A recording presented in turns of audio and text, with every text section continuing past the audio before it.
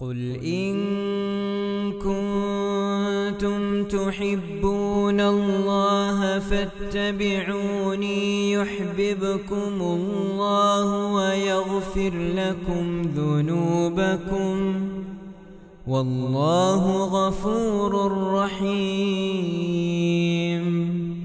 السلام عليكم ورحمة الله وبركاته. الحمد لله رب العالمين اللهم صل على محمد وعلى آل محمد كما صليت على إبراهيم وعلى آل إبراهيم إنك حميد مجيد أما بعد فاتقوا الله عباد الله സ്നേഹമുള്ള സഹോദരി സഹോദരന്മാരെ സുഹൃത്തുക്കളെ ധാരാളം സഹോദരങ്ങൾ ചോദിക്കാറുള്ള ഒരു സംശയത്തെ സംബന്ധിച്ചാണ് ഇന്നത്തെ നമ്മുടെ അവസരത്തിലൂടെ സംസാരിക്കുവാൻ ഉദ്ദേശിക്കുന്നത്. അതായത് നമ്മൾ ലുഹറും മസറുമൊക്കെ ജം ആക്കി നമസ്കരിക്കുന്നത് പോലെ ഒരാൾ ലുഹറിന്റെ സമയത്ത് തന്നെ ലുഹർ നമസ്കാരം കഴിഞ്ഞ് അസറും കൂടെ ലുഹറിന്റെ സമയത്തേക്ക് മുന്നോട്ടാക്കി നമസ്കരിക്കാറുണ്ടല്ലോ. അതിന് അനുവദിക്കപ്പെട്ട സന്ദർഭങ്ങളുമുണ്ട്. ഞാനത് വിവരിക്കുന്നില്ല. നമ്മുടെ മറ്റു പല ക്ലാസ്സുകളിലൂടെയും ആ നിയമങ്ങളെക്കുറിച്ച് നമ്മൾ പറഞ്ഞതായതുകൊണ്ട് ആവർത്തിക്കുന്നില്ല. ഇവിടെ സംശയം ജുമായിലേക്ക് ഒരാൾക്ക് അസർ നമസ്കാരത്തെ ഇങ്ങോട്ട് മുന്തിച്ച് ഒരുമിച്ച് കൂട്ടി നമസ്കരിക്കാൻ പറ്റുമോ ഇല്ലേ എന്നാണ്. പണ്ഡിത ലോകത്ത് ഈ വിഷയത്തിൽ അഭിപ്രായ വ്യത്യാസങ്ങൾ പണ്ടും ഇപ്പോഴും നിലനിൽക്കുകയാണ്. ഒരു വിഭാഗം പണ്ഡിതന്മാർ അവരാണ് മഹാഭൂരിപക്ഷം ധാരാളം വരുന്ന ആളുകൾ പറയുന്നത് അങ്ങനെ ജംആക്കുവാൻ വകുപ്പില്ല എന്നാണ്. ലുഹറിലേക്ക് അസറിനെ ഇങ്ങോട്ട് ജം ആക്കുന്നത് പോലെ ജുമായിലേക്ക് അസറിനെ ഇങ്ങോട്ട് ജംആക്കി മുന്തിച്ച് ജംആക്കി കൂട്ടി നമസ്കരിക്കുവാൻ വകുപ്പില്ല എന്ന് ഒരു വിഭാഗം പറയുന്നു. മറ്റൊരു വിഭാഗം പറയുന്നത് അങ്ങനെ ജം ആക്കാം കുറെ പണ്ഡിതന്മാർ ആ വീക്ഷണക്കാരാണ്. ലുഹറിനെ പോലെ തന്നെ ജുമാ നമസ്കാരം കഴിഞ്ഞാൽ ഒരു യാത്രക്കാരൻ എന്ത് ചെയ്യാം? അസറിനെ ജുമായയുടെ കൂടെ ജം ആക്കി നമസ്കരിക്കാവുന്നതാണ് എന്ന് മറ്റൊരു വീക്ഷണവും. ഈ രണ്ട് വീക്ഷണം പറഞ്ഞതിലും ധാരാളം പണ്ഡിതന്മാരുണ്ട്. ഇത്തരം ഘട്ടങ്ങളിൽ നമ്മൾ ഓരോരുത്തരുടെയും ന്യായങ്ങളൊന്ന് പരിശോധിച്ചു നോക്കുന്നത് നന്നായിരിക്കും. അങ്ങനെ പാടില്ല എന്ന് പറയുന്ന പണ്ഡിതന്മാർ പറയുന്നത് ഇസ്ലാമിലൊരു നമസ്കാരം അത് കൃത്യമായ സമയത്താണല്ലോ നിർവഹിക്കുവാൻ അള്ളാഹു പറഞ്ഞിട്ടുള്ളത്. ഇന്നസ്വലാത്തക്കാനത്ത് അലൽ മുഅ്മിനീന കിതാബൻ മൗഖൂത. നിസ്കാരം നിശ്ചയമായും അത് സമയബന്ധിതമായി സമയം നിശ്ചയിക്കപ്പെട്ടിട്ടുള്ള ഒരു ഇബാദത്താണ്. അതിനെ അതിന്റെ സമയമാകുന്നതിന്റെ മുമ്പോ സമയമായതിന്റെ ശേഷമോ നിർവഹിക്കുവാൻ വകുപ്പില്ല. ഇതാണ് അടിസ്ഥാനപരമായ തത്വം. എന്നാൽ നമുക്ക് അങ്ങനെ ജംഅ അനുവദിച്ചിട്ടുള്ള നമസ്കാരങ്ങളിലൊന്നും ജുമ അങ്ങനെ നമസ്കരിച്ചതായി നമുക്ക് അള്ളാഹിന്റെ റസൂൽ പഠിപ്പിച്ച് തന്നിട്ടില്ല. അതാണ് ആ പണ്ഡിതന്മാർ പറയുന്ന ന്യായം. അതേ അവസരത്തിൽ ഒരു യാത്രക്കാരന് വിഷമമുണ്ടായതുകൊണ്ടും പ്രയാസമുള്ളതുകൊണ്ടുമാണല്ലോ ജം ആക്കുവാൻ അനുവാദം കൊടുത്തിട്ടുള്ളത്. ആ കാരണമൊക്കെ ഇതിലുമുണ്ടല്ലോ. അതുകൊണ്ട് എന്തുകൊണ്ട് ഇതും ആക്കിക്കൂടാ എന്നുള്ളതാണ് മറുപക്ഷത്തിന്റെ ന്യായം. ഇവിടെ നമ്മൾ മനസ്സിലാക്കിയിരിക്കേണ്ടത് അങ്ങനെയുള്ള ന്യായം വെക്കുകയാണെങ്കിൽ സഹോദരങ്ങളെ നമുക്ക് പല നമസ്കാരങ്ങളും തമ്മിൽ കൂട്ടി നമസ്കരിച്ചുകൂടെ എന്ന സംശയം ഉണ്ടാകും.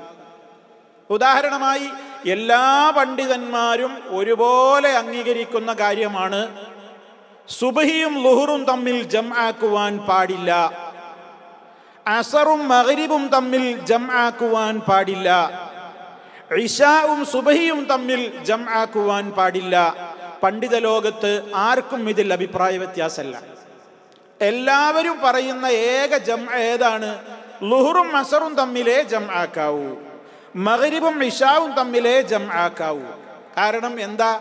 ഇത് നബി സല്ലല്ലാഹു അലൈഹി വസല്ലമിൽ നിന്ന് കൃത്യമായി അവിടുന്ന് നമുക്ക് കണ്ണിതമായി പഠിപ്പിച്ചിരുന്നതാണ്.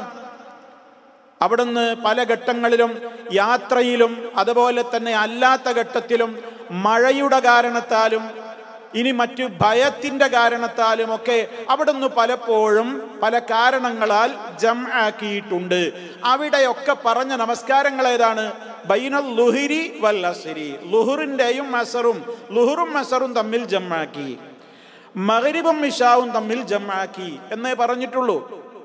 യാത്രക്കാരുടെ ബുദ്ധിമുട്ടും യാത്രയിലുള്ള പ്രയാസവും എന്ന ന്യായവും യുക്തിയുമാണ് നമ്മൾ പറയുന്നതെങ്കിൽ ആ പ്രയാസം ഒരു വേള അസറും മകരിബും തമ്മിലും ജമ്മാക്കുന്ന ജമ്മാക്കിക്കൂടെ എന്ന് പറയാനും നമുക്ക് കാരണമായി പറയാമല്ലോ.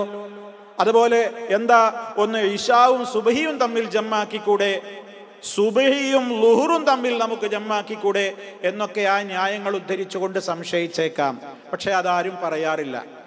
എന്താ കാരണം? അങ്ങനെയാണ് ആ വിഷയത്തിൽ നെസ് നബി സല്ലല്ലാഹു അലൈഹി വസല്ലമ എന്താണോ അവിടുന്ന് മാതൃക കാണിച്ചു തന്നത്? അതാണ് ആ വിഷയത്തിൽ നമുക്ക് തെളിവായി സ്വീകരിക്കേണ്ടത്.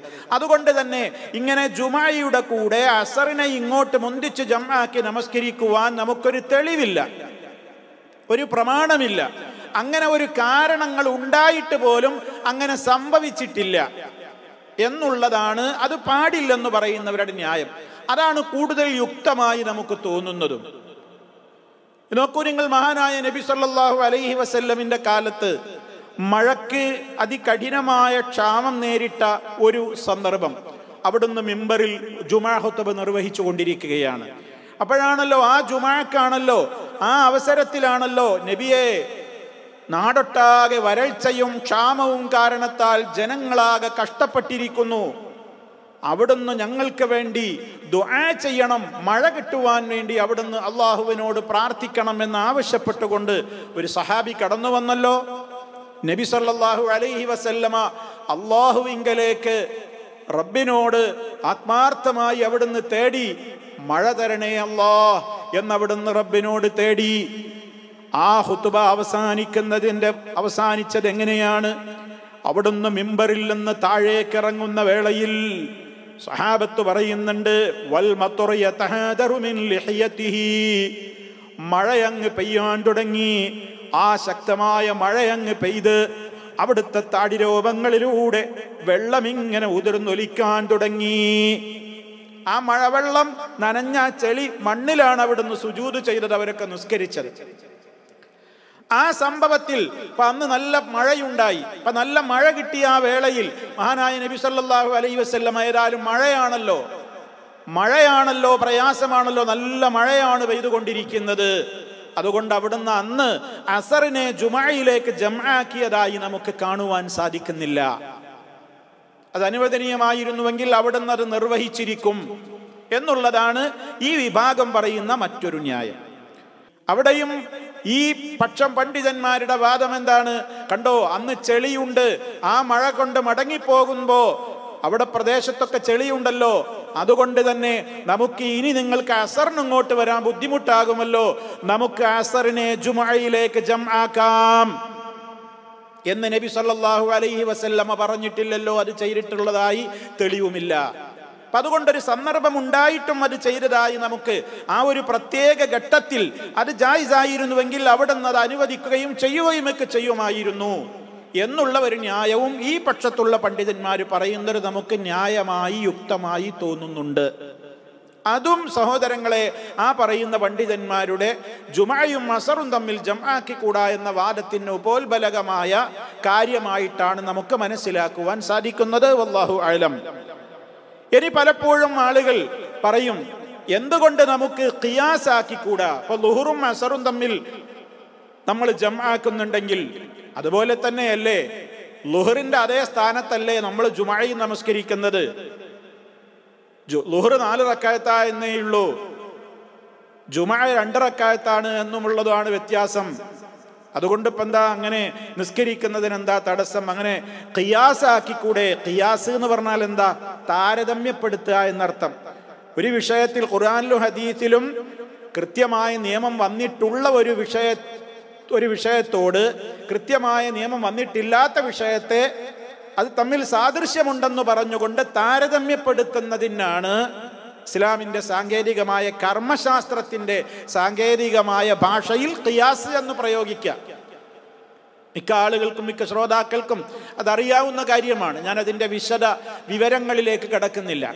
അപ്പം അങ്ങനെ നമുക്കൊരു ഇവിടെ ഇത് ആവാമെങ്കിൽ അതും എന്തുകൊണ്ടായിക്കൂടാ എന്നുള്ളതാണ്. അങ്ങനെ ആയിക്കൂടേ?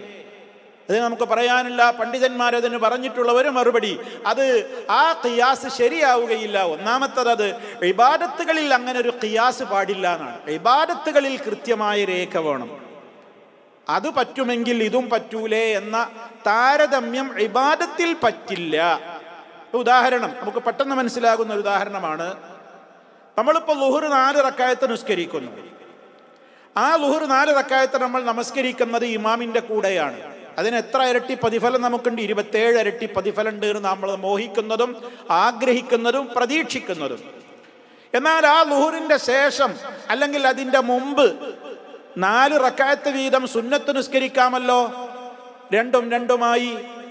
ആ സുന്നത്ത് നമസ്കാരം നമ്മൾ നമസ്കാരത്തിന്റെ ശേഷം ആ ഇമാമിന്റെ കൂടെയല്ല നിർവഹിക്കുന്നത്. നമ്മളൊക്കെ ഒറ്റക്കൊറ്റക്ക് പള്ളിയിൽ വെച്ചോ ഏറ്റവും ശ്രേഷ്ഠം എന്ന നിലയ്ക്ക് വീട്ടിൽ വെച്ചോ ഒക്കെയാണ് നമ്മൾ സുന്നത്തുകൾ നമസ്കരിക്കാറുള്ളത്.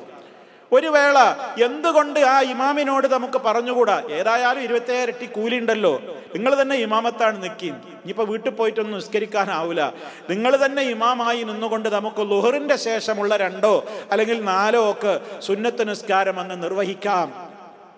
ഇരുപത്തേഴ് ഇരട്ടി എന്തിനാ നമ്മൾ കളയുന്നത് എന്നൊരു ന്യായം പറഞ്ഞ് ഇത് അത് അത് പറയുന്ന ഘട്ടത്തിൽ അവിടെ പറയപ്പെടുകയാണ് ആ വ്യക്തിയോട് അത് പാടില്ല.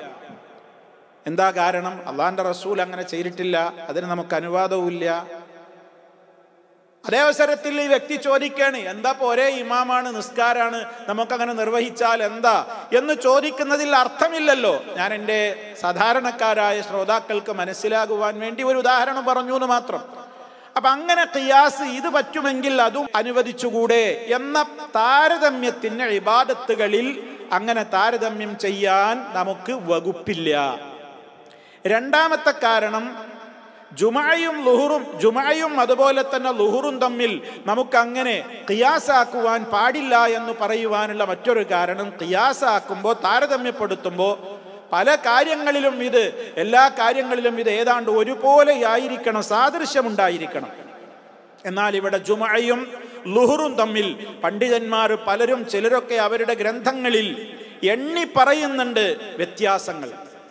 ഇരുപതിലേറെ വ്യത്യാസങ്ങൾ ജുമ നമസ്കാരവും ലുഹുർ നമസ്കാരവും തമ്മിലുണ്ട് എന്ന് എണ്ണി എണ്ണി പറഞ്ഞിട്ടുണ്ട് പല പണ്ഡിതന്മാരും.